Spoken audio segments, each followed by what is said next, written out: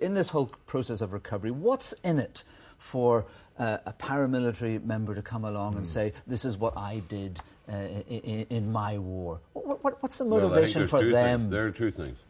Some people, I'll take the, the, the, toughest one first. Some people, I'm not too sure about this one, I don't know if I believe this one, but some people told us that actually some paramilitaries want to ease their conscience.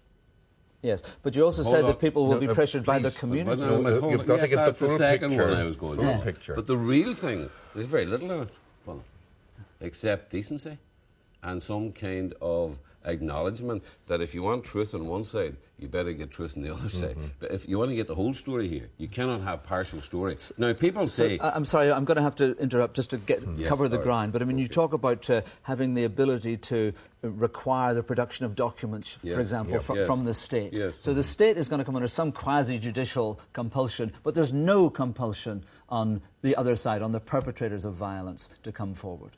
Is that not uneven? Well, there. The, the, sorry. The, uh, yes, there is an unevenness. There's a difference between the state and those who are paramilitaries. Of course, there are. Uh, the state kept records, and the paramilitaries didn't. Of mm. course, that's a reality. Or we and, don't and, have and, them. And, the people yeah. who will put pressure. When I use the word community here, I think the relatives who are looking mm. for this truth will put enormous pressure on the IRA, UVF, and the UDA to say this is as good as going to happen now, and this is the best we're going to get. Therefore, you should come forward to okay. do this. Now, if they turn that down, it does upset the balance. I Totally accept that. Okay. Gentlemen, we must leave it there.